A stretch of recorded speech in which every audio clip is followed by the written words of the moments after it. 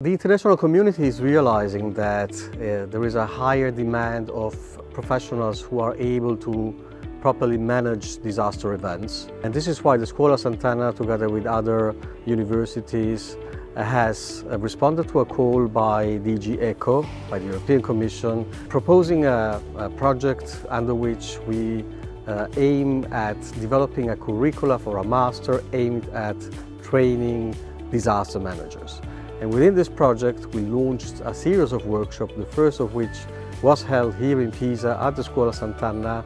dealing with the legal and institutional aspects of cross-border disaster assistance. It was a project and a workshop for which we invited professionals from all over the world who are dealing with disaster response, so from a military background, from a civilian background, from a humanitarian background, and for one and a half days they have worked led by resource persons